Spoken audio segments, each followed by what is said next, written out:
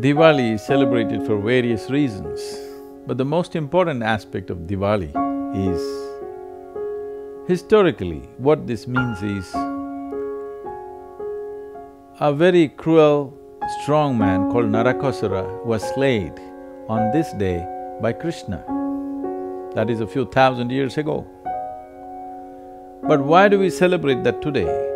A man was killed however evil he was many thousands of years ago, should not be relevant to us. But the relevance of Deepavali is that this is not about Krishna slaying uh, the evil in somebody else.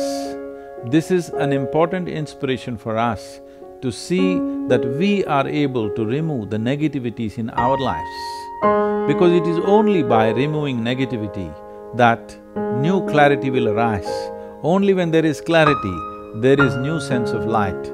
It is from this context that on this day, in the entire country, in your homes, in your cities, in right across the nation, we are lighting lamps to indicate a new light has risen in our lives. We need to understand this.